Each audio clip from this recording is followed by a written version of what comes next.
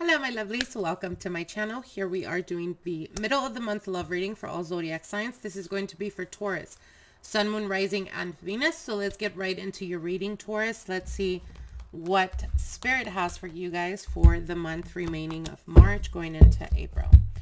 All right, your first card here is the Five of Swords.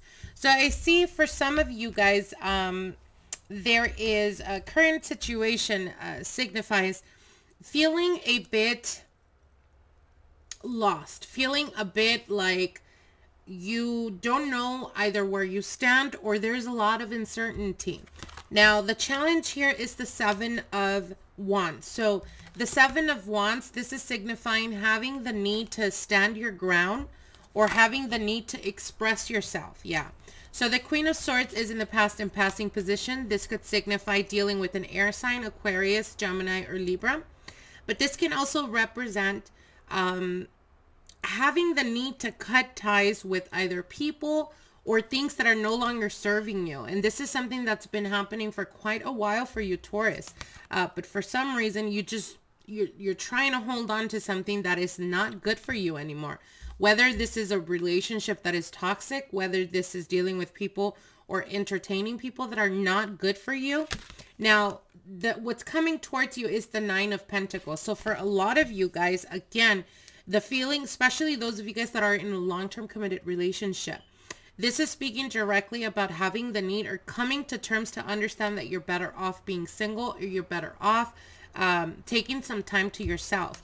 Now, you have here the Emperor card and this is what's on your mind. So I see a lot of you guys making major transitions, whether it's in business, um, whether it's changing jobs, whether it's uh, going back to school, getting some type of study, getting some type of um, something that is going to help you in the long run. So again, for some of you guys, this could be returning to school. Uh, this could be changing jobs. This could be uh, even changing residency for some of you guys. And the fear of perhaps uh, there's going to be challenges that are going to be showing up uh, the end of March, beginning of April that may start to uh, affect your relationship or how you currently deal with your relationships. Now you do have the three of swords here and this is what's unexpected. So again, I feel that for some of you guys, you've already been in this mentality where there is a feeling of wanting to get out of a situation, whether it's those of you guys that are in a long-term committed relationship or whether it's um, getting yourself out of a toxic situation, whether it's people around you, people that you're dealing, your job, whatever.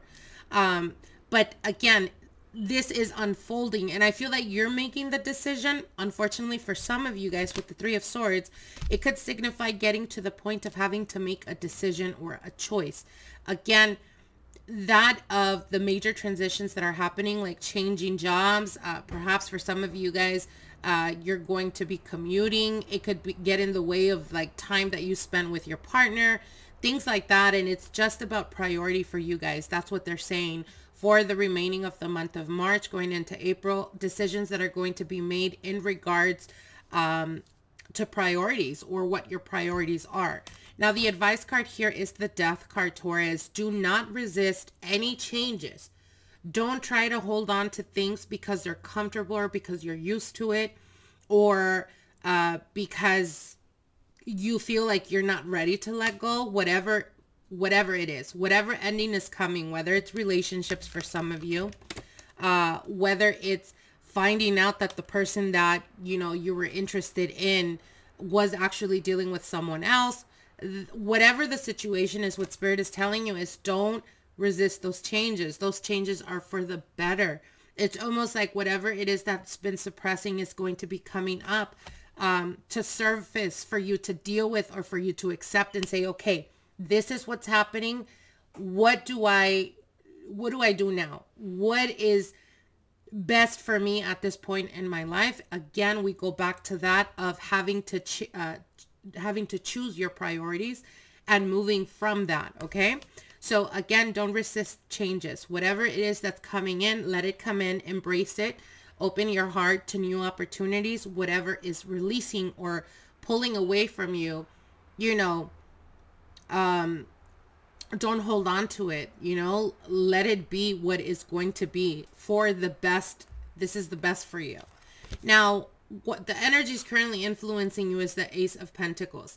They are telling me that there's a lot of changes, like I said, residency, uh, some type of training for some of you guys changing jobs. But the energy is currently influencing, or what what's going to be currently influencing is, again, we go back to that of making choices that perhaps we don't want to make, but they're ultimately to the best of your interest because it's bringing you new opportunities. It's bringing you new stability or perhaps even ways of making more money. Um, or perhaps dealing with a person that you've been with for quite a while and you've kind of consumed yourself in this relationship that you kind of forgot every other aspect of your life. And what they're telling you is it's time to change that up. With the death card here and the ace of pentacles it's telling you taurus if it's not if relationship wise things are not going good it's time to make changes and put yourself first. Think of yourself and think of your stability and long term what's not now or what's going to be unfolding but in the future it's going to ultimately benefit you okay? Now we have the page of pentacles. Um communication i see communication. I see a lot of uh, opportunities coming to you guys like i said in regards to growth in regards to the future is what they're saying.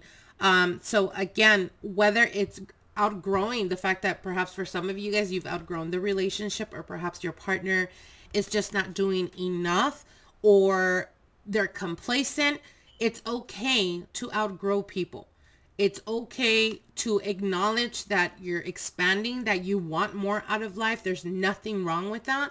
And it's time that you start thinking for, for yourself, Taurus, okay? So I hope you guys enjoyed this reading. Like, share, and comment, and we will see each other soon. Blessings.